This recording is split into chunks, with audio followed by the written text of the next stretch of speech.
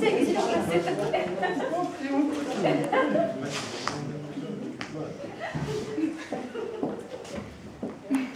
nii, palun siis sooja ja tugevat aplausi meie vastupidajale.